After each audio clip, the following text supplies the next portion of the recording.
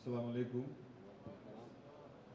Uh, our learned uh, alims, the uh, imam for the masjid, the president of the, uh, uh, the trustees and the organization itself, um, all those who are listening to this uh, program today, I wish you a very good evening and as I said, Assalamu alaikum to all of you. Uh, we've all heard the alims before me, who are obviously far more learned than people like us uh, to be able to talk about on the subject matter. But what I would like to talk about essentially is some of the key attributes of our Rasul. And as with any occasion, the reality is that we use these occasions to be able to reflect upon our own selves as to how we can apply his values, his practices, his teachings, and his various sermons in our own lives. Because the very purpose of the last prophet was to essentially seal the, our faith, was to essentially be the last guidance, guidance to all of us as to how we should live our lives. Our relationship with our Creator, with our God, is a relationship directly with God. When we make dua, when we do salat, we are trying to talk to directly to our Creator, trying to convey our problems, our issues, our needs, our demands, and our thanks to our Creator. So our Rasul's purpose was to teach us as to how to do that, as to how to win God's favor, how to win God, our Creator's favor. Because the ultimate purpose of us being here is not to get a nice topi, or to drive a Pajero, or to become the Attorney General. Our main purpose here is to make sure that we go to Jannah. That's where the real ball game is. That's the fundamental issue. And sometimes it's very difficult, I know, for us to be able to apply that to our daily lives. Because we get carried away with our daily lives We get carried away with the material world. We get carried away with status, with our positions, with our status in society. हम president बन गया हम businessman बन गया हम minister बन गया हमारे लगे बड़ा मोटर हो गए बड़ा घर हो गए and our pursuit of those things can help us in fact or we deviate from the path that we're supposed to be on Sirat al-Mustaqim, the straight path. So the purpose of our prophet was here to tell us how to stay on the Sirat al-Mustaqim. What do we do? So what I thought, in fact, I was I knew I'd be slightly late uh, and not come right into the program from the beginning. Uh, but what I thought that I would like to talk about today and reflect upon today uh, is the last sermon of the Rasul. And as we all know, and the Alims will tell us, that was given on Mount uh, Arafah, 623 AD, 623 years after Isa alayhi salam. In, I'm not going to read the entire sermon or entire speech or his khutbah, as you may say. But I like to pick out some of the main points and how perhaps we can apply to our lives and perhaps how we are deviating from that path.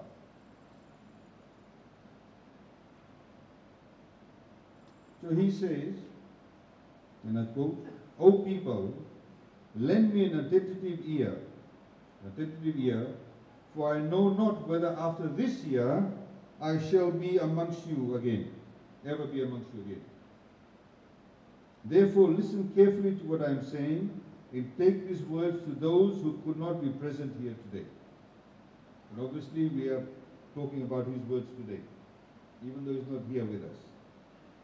But his first line, what does it indicate to us? He's saying, I may not be here next year. It means that we are all mortals.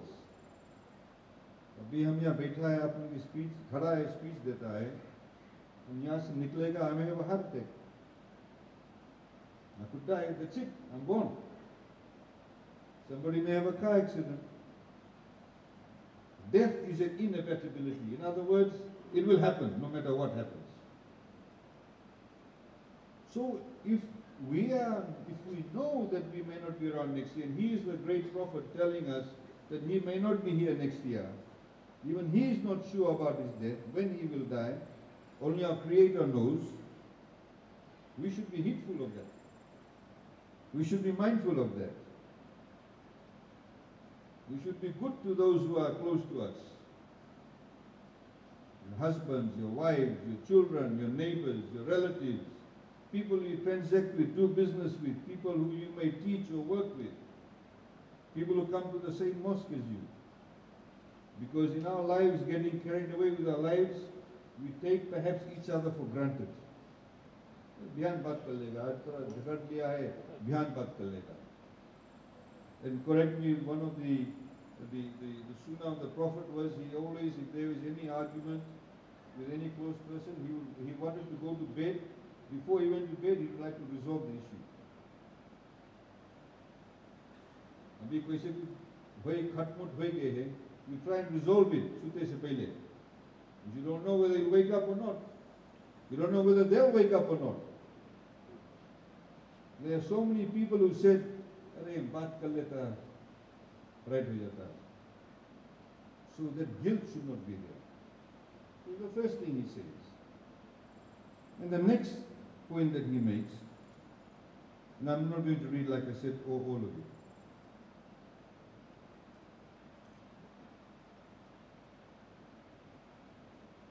he says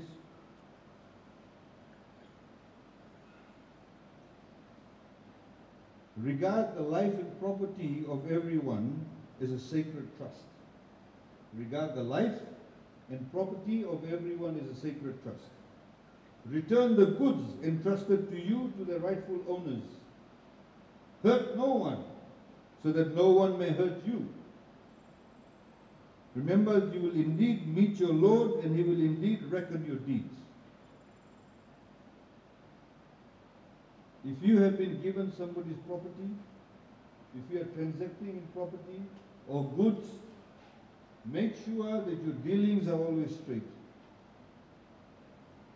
थोड़ा से बस निकाल लेगा take out a little bit here and there.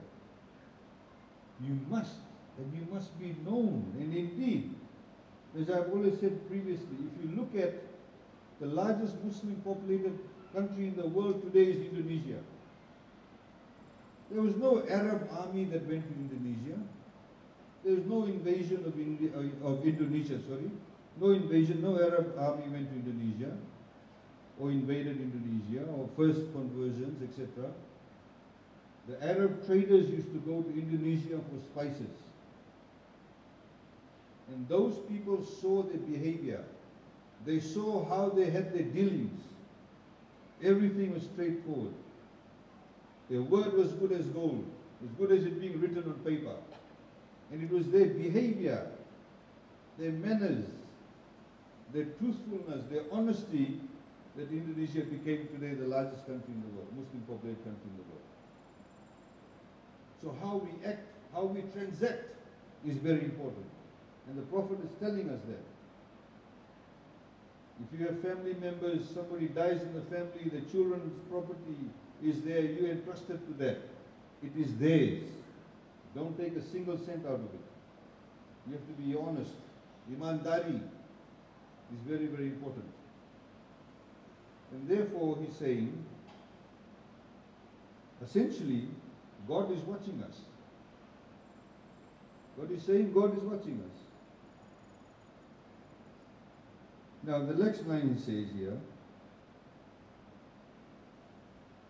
you don't hurt people. Do unto others what others may do unto you. There's a very famous saying. झूठ के कोई के तकलीफ नहीं दो In fact, if you know कि कोई के तकलीफ पड़ी, you don't do that in the first place. And I know sometimes it can be very difficult for people. To spur the moment they say things, they do things. You know, the Prophet used to say, if you are angry, if you're standing up and you're angry, sit down. If you're sitting down, you're angry, lie down. यहाँ से कोई चीज निकले है from the tongue, you cannot ever get it back. Remember that. You cannot get any word that once it departs your tongue, it's gone. And this thing can cause some of the greatest hurtfulness ever. गुस्सा में आए के in anger you may say something, you'll hurt somebody. In your moment of arrogance you may some, say something that will hurt somebody. Don't do that.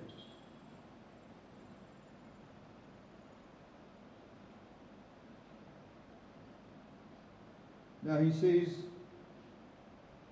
You'll neither inflict nor suffer in inequality. Allah has judged that there shall be no interest and all interest due shall be paid. Again, there are many people I know in Fiji that actually charge money lenders. Some of them are of course Muslims too.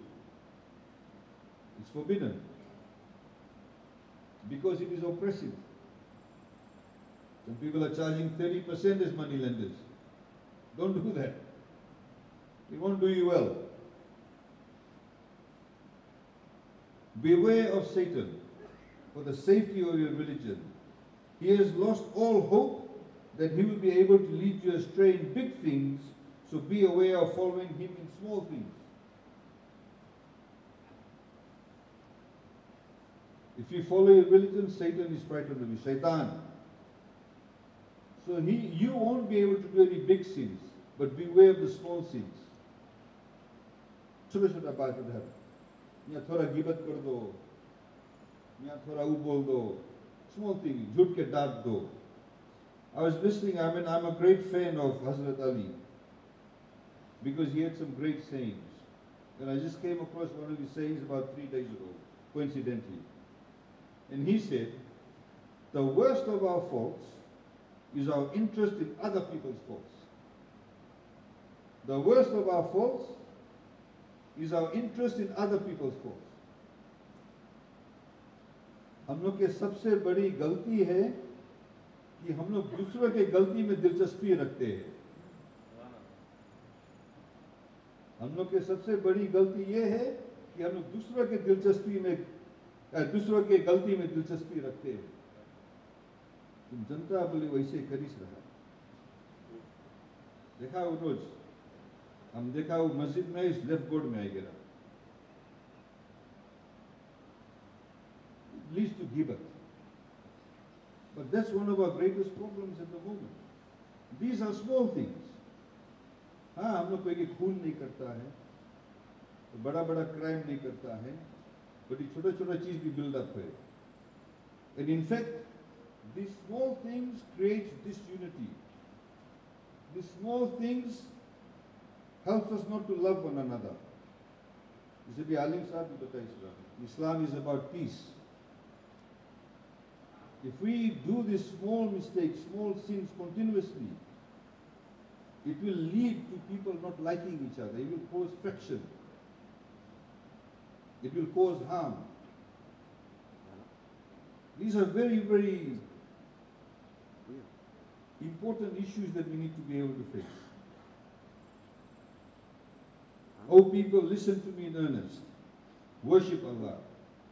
Say your five daily prayers. Fast during the month of Ramadan. And give your wealth in zakat. Perform Hajj if you can afford it. Very straightforward. I think we all understand that. All mankind is from Adam and Eve, Adam or Hawa. All mankind. An Arab has no superiority over a non-Arab. An Arab has no superiority over a non-Arab. No a non-Arab any superiority over an Arab. सबको एक बराबर कोई जन सोचे है कि Quran Arabic में है तो कोई अरब के है भाई वो लोग हम से थोड़ा बढ़ चढ़ के no you are the same he also says, goes one step ahead. And we are facing these issues in countries like USA today.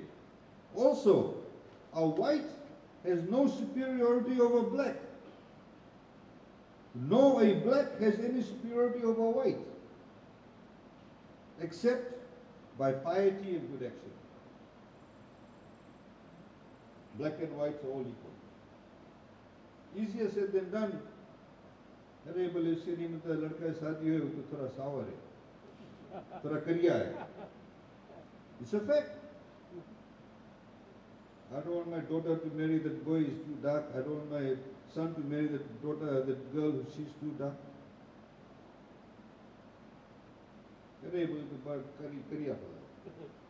Basic. It may sound like you know we're saying it in jest, but bitter people have that feeling. That's what the Prophet said. This is 1400 years, nearly 1500 years ago. Today in America they're saying black lives matter. Black Lives Matter. And this is, of course, one of the reasons why Islam spread in so many countries where there is a lot of discrimination, either through caste or because of color. Because Islam does not know any difference. I have people who've asked me, they come and see me pray in the masjid. They said, oh, you come, you're standing next to somebody, you don't have a special spot for you? I said, no, we don't have that. I come late, I will be back. I come a bit earlier, I may be there. Somebody may be praying, he may be a banker, somebody may be a cleaner, somebody may be a minister, somebody may be an alim, somebody may be a teacher. That's the beauty of it. That's what we call practicing equality in real life.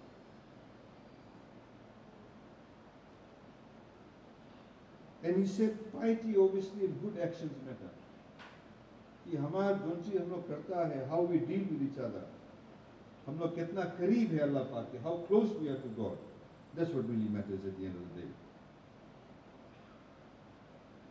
do not therefore do injustice to yourselves remember one day you will meet Allah and answer your deeds so beware do not stray from the path of the righteousness after I am gone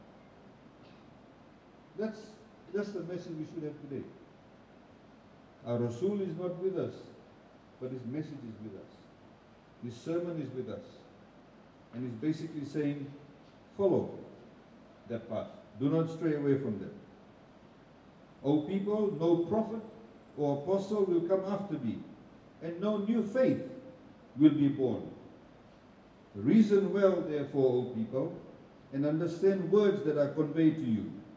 I leave behind two things the Quran and the Sunnah. And if you follow these, you'll never go astray. All those who listen to me shall pass on my words to others, and those to others again. The Hadith. And may the last ones understand my words better than those who listen to me directly. O Allah, be my witness that I have conveyed your message to your people. This is the gist of his message. And if we listen to the gist of this message, but more importantly, seek to apply it to our daily lives. That's the beauty of it, they're simple things.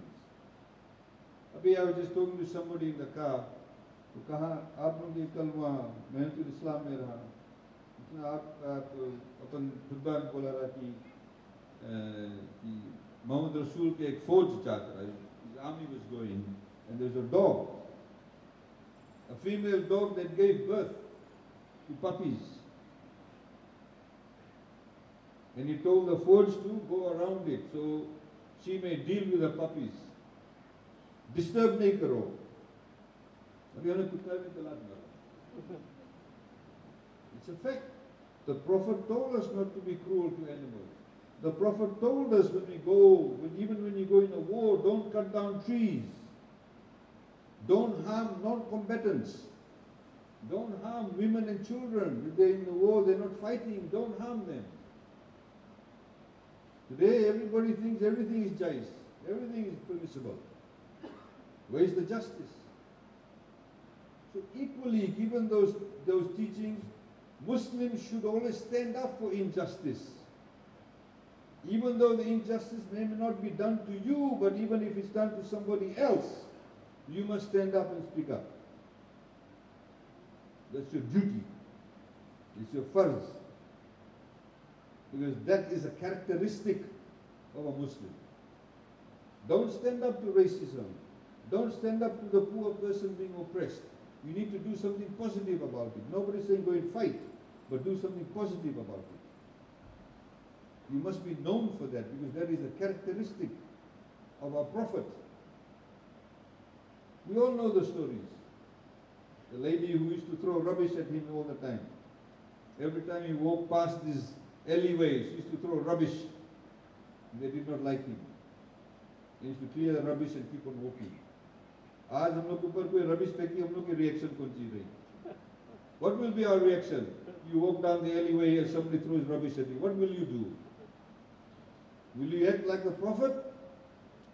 Or will you act like a person of this world?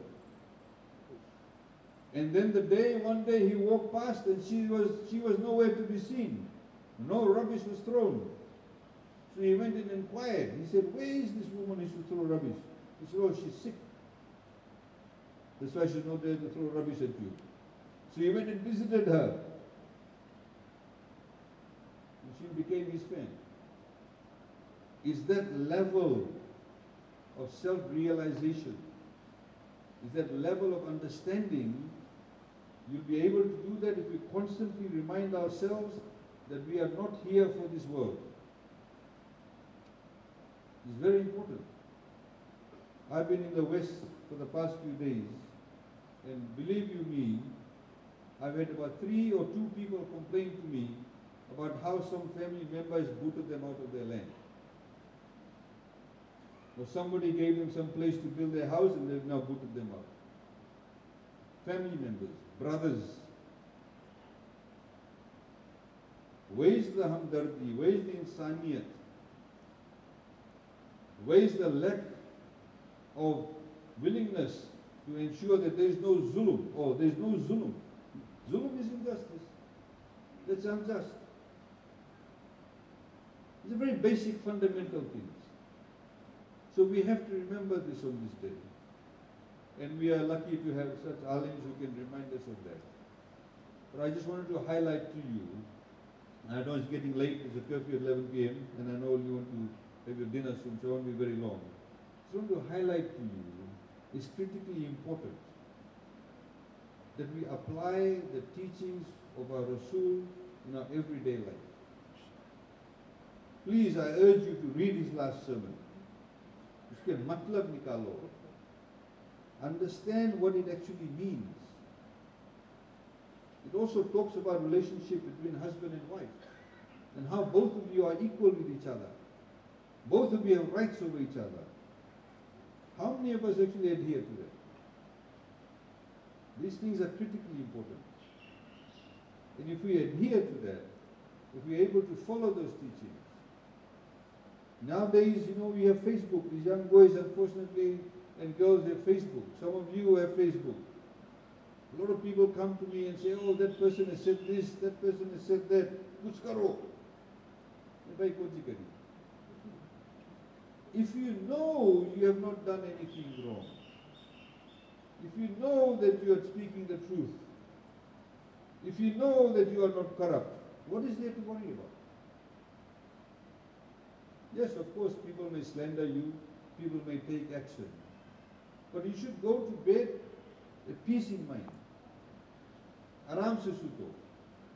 Because if you have not done anything wrong, God will take care of you. Allah hawale. Very basic. But you must believe that. That is why it is critically important to ensure that every single thing you do, that you remember that we have to be honest in our dealings. Every single thing we do, we need to adhere to what the Prophet has taught us. Every single thing we do, we must know we are not breaking any of the messages in the Quran. Life is very simple then. In fact, many people have said Islam is a very simple religion. Hardly any rituals. Before you have to get married, you have to have 25 camels, 30 horses, whatever it was. The Rasul's time made it very simple. You have the nikah, no fanfare. You invite a few people, have your walima and that's it. So because before only the rich could get married. So it brought about equality. What is zakat about? It's about equality. It's about looking after the poor. Very basic teaching. So I'd like to once again thank the committee, the organization for the invitation. Uh, and I know that uh, they've stuck to their guns with the invitation. I'd like to thank them and I respect them for that. Uh, because really in, in, in, in, life you should not be scared to do things if you're doing the right thing. It's my fundamental message to you. And I want to wish all of us uh, a life in which we stick to the Sunnah, we stick to the, the, the Quranic verses, and we're able to live our lives in a peaceful manner. Inner peace is critically important as opposed to outer peace. I'd like to, of course, thank all the alims and for their presence here. And please forgive me if I've said anything Uh, that is not correct. Assalamu alaikum. Thank you.